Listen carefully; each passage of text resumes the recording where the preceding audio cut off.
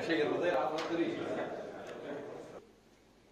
التعامل بنظام ما يسمى بمحاسبة الأقسام والفروع وكل مكتب من هذه المكاتب اللي موجودة داخل في كل رقعة جغرافية خاصة بالفرع ومن بعد يتم إعداد الإدخال وسيلة التحليل الفروع ويتم استخراج المركز المالي كل دفعه لكن تو والموضوع صعبه هذا كلام قلنا لي لمدير فرع هذا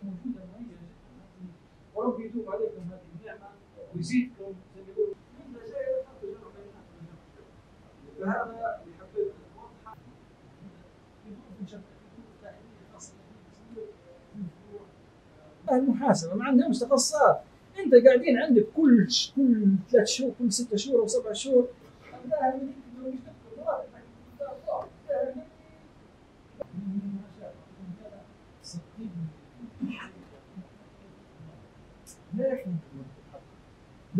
شيء خلي خلي العمل يمشي قدام خلي موجود في هذا بس بنسلك في الناس هذول مهتمين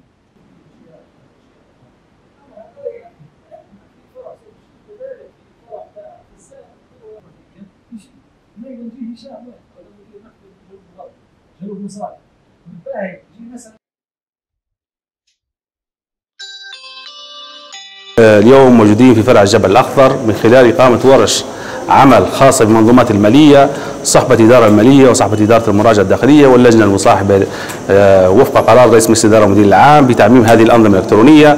لا يخفى على الجميع أن الإدارة المالية من الإدارات المهمة بصندوق الضمان الاجتماعي وجميع بياناتها آه، متابعة من الإدارة العليا من خلال قراءات ومؤشرات تعطي نبذة واضحة على المركز المالي.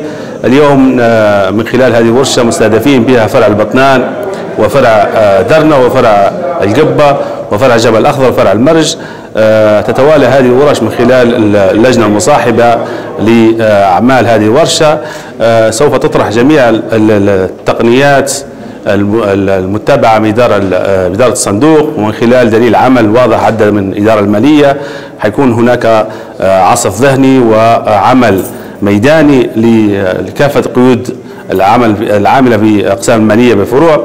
آه، كذلك حيكون منظومة مع- منظومة الحسابات الميزانية حيكون منظومة مراقبة المخزون تعني هذه المنظومة بمتابعة جميع التفاصيل اللي موجودة في مخازن الصندوق تعطي قراءات واضحة للإدارات المعنية وأقسام المعنية بالفروع سواء المراجعة الداخلية والمالية لصرف ال- الأدوات القرطاسية والأثاث وال- والمعدات الحاسب الآلي. تعطي على الأقل آه، معرفة ال- ال- ال- المخزون وال- وال- والقيمة الشرائية التي يحتاجها فرع صندوق الضمان الاجتماعي من أجهزة إلكترونات وقرطاسية. كذلك منظومة متابعة المشروعات آه، هذه المنظومة التي تتابع أدق التفاصيل من خلال المشروعات العامة فرع الصندوق. هذه المجموعات مجتمعة تعطي الإمكانية من خلال الظروف التي صاحبت آه، ليبيا في كافة المدن والقرى من خلال الأحداث اللي صارت.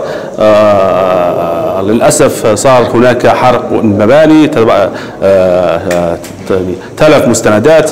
هذه الأنظمة الحمد لله تمكن فروع الصندوق من الاحتفاظ بالبيانات في أماكن آمنة يرجع عليها في في حالة آه، طلبة الإدارات المعنية وأقسام المعنية آه، الميكنة بصندوق الضمان الاجتماعي آه، آه، متابعة من السيد رئيس مجلس الإدارة المدير العام بتوطير الأنظمة الإلكترونية آه، وكذلك تعطي الفروع الصندوق آه، آه، الدقة في استخراج بياناته وهذا ما نسعى إليه اليوم وهناك بعض الورش التي تم إعدادها في السابق وإن شاء الله لي- ليس هذه آخر الورش هناك آه، ورش وحلقات نقاش من خلال المختصين في فروع الصندوق للاستفادة من خبراتهم.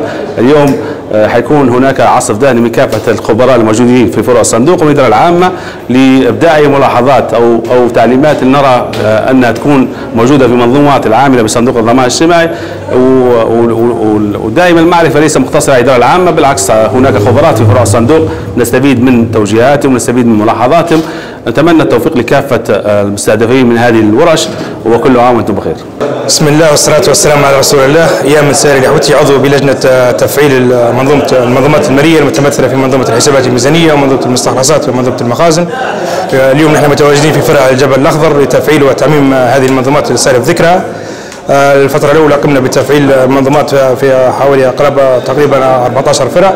واليوم متواصلين لتعميم آه، باقي على باقي الفروع كانت تم تجميع الفروع يعني فرع القبة وفرع المرج وفرع البطنان وفرع درنة في الجبل الأخضر بالإضافة إلى فرع الجبل الأخضر لتعميم منظومة عليهم نشكر فرع الجبل الأخضر على ال- على الحفاوة الاستقبال وعلى التجهيز ونشكر مدير الفرع ورؤساء الاقسام ورؤساء الموظفين أسأل الله التوفيق لنا جميعا بإذن الله. بما تهتم الدور وهم التركيز اللي يتم التركيز عليها